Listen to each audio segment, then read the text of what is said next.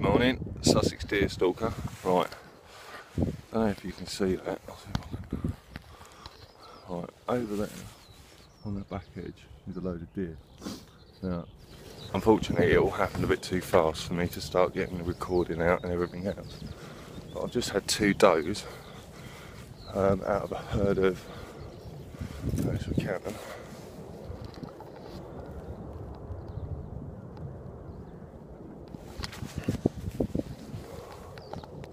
Right, out of a herd of nine, I've just had two come over, taken one shot, 120 yards, next shot, went down.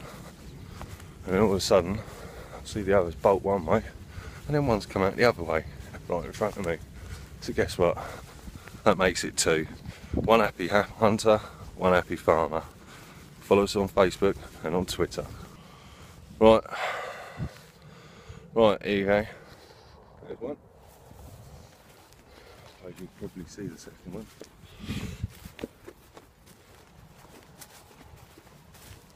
Nice, uh, nice adult elderly girl, quite fat actually, so she'll probably weigh in quite nicely. And yep, there's the number two. Nice doe, straight in the neck. Anyway, keep up.